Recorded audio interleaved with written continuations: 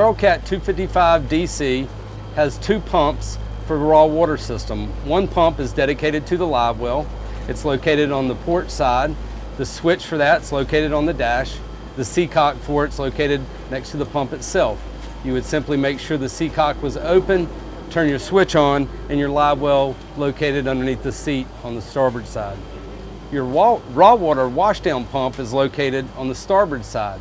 Again, you would want to make sure your seacock is open. You would engage the switch on the dash panel and then your raw water faucet uh, or your hose is functional and the faucet's located in the cockpit area back here on the 255 DC.